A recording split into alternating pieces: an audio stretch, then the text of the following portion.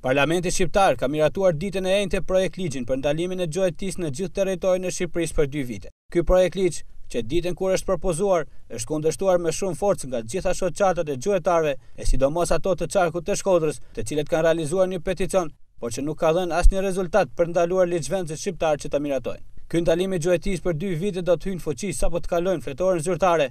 e më pas askush nuk do të mund të ushtrojë gjuetinë, pasi do të ndiqet penalisht nga shteti shqiptar e çdokush që kapet në flagrancë. Shoqatat në Shkodër nuk e kanë pritur aspak mirë këtë vendim dhe sipas kryetarit të saj Zyhdi Mustafa, këto shoqata do të vazhdojnë shqetësimet e tyre gjatë ditëve në vijim. Megjithatë, kontratat dhe lejet që janë lëshuar nga shteti shqiptar dhe nga shoqatat do të vijojnë të zbatohen derisa të mbarojë afati. Pra ato leje gjuetie që janë në fuqi të paktën dhe për një muaj do të mund të praktikohen pa u ndërprerë. Ky është i vetmi favorizim që ligji u bën për të gjithë ato që kanë paguar taksat, të paktën dhe për një muaj në vazhdim.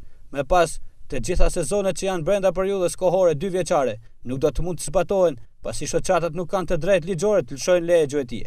Ndërkohë që në kundërshtim me vendimin e ndërmarrë sipas drejtuesve të shoqatave të qarkut Shkodër, shumë shpejt pritet të ketë të tjera veprime dhe peticione për të ndaluar dhe lehtësuar masat e projektligjit. Një ide është që ky ligj të tolerojë vetëm anëtarët e shoqatave të gjuetarëve për të ushtruar gjuetinë. Pavarësisht të gjitha pretendimeve, ligji do të hyjë në fuqi brenda muajit shkurt dhe askush në Shqipëri nuk do të ketë të drejtën të ushtrojë gjuetinë.